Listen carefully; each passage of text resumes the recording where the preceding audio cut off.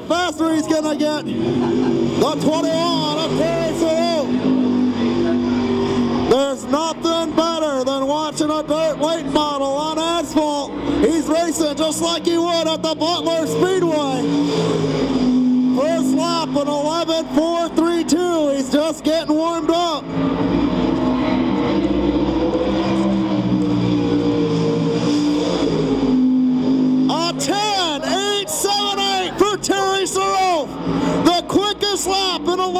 Time other than a sprint car coming out of turn four.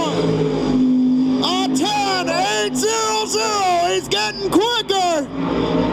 10, 7, 4, 6. The track record coming out of turn four.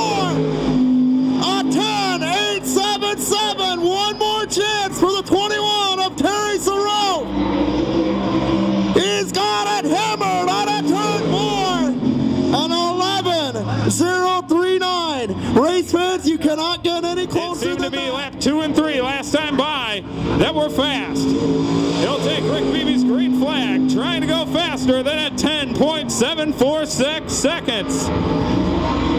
The smoke will start rolling off the tires. A 10.956. Fans, let him hear you this time by.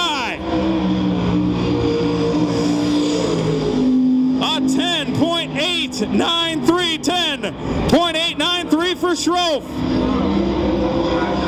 Probably got another good lap or two. Wiggles off turn four. Slows down to an 11.036. White flag in the air this time by.